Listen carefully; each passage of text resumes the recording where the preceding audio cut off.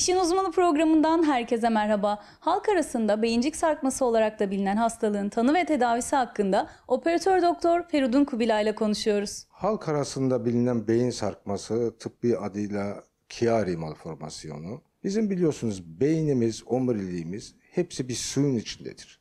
Chiari malformasyonu veya beyincik sarkması doğuştan itibaren beyinciğin birazcık daha aşağıda olması, birazcık da kafa yapısının biraz arkasının sığ olması nedeniyle suyun devir daimine engel bir durum teşkil ediyor. Su bir yerden bir yere gidecek, kalmayacak orada. Orası kapalı olduğu için bizim istemediğimiz başka bir yerden su gitmeye çalışıyor. Ve o zaman bizim omuriliğimize zarar veriyor. Hastalığın evresine göre belirtiler farklılık gösteriyor. Çoğu hasta yıllarca antidepresan kullanıp gelir. Kimisinde bakıyorsunuz ki eli uyuşuyor, kimisinin başı ağrıyor, kimisinin gözünün önünden televizyon ekranı kayıyor. Bunlar tabii evre evredir tedaviyle bunun semptomlarını ortadan kaldırıyoruz ama 2 ve 3 kesinlikle ameliyat edilmelidir. Peki Türkiye'de en sık görülen hastalıklardan biri de bel fıtığı. Bel fıtığının ameliyatı gerekli mi hocam? Her bel fıtığı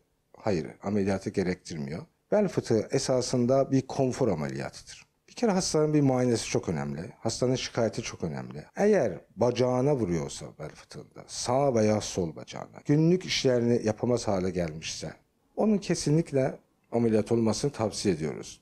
Özellikle genç hastalarda intradiskal ozon tedavisi çok etkilidir. Son yıllarda özellikle revaçlı olan bir yöntemdir. Doğru tanı, hasta seçimi doğru bir hasta seçimi ise ve işlem doğruysa başarı oranı %85'in üstündedir. İşin Uzmanı programından şimdilik bu kadar. Bir sonraki programda görüşünceye dek sağlıkla kalın.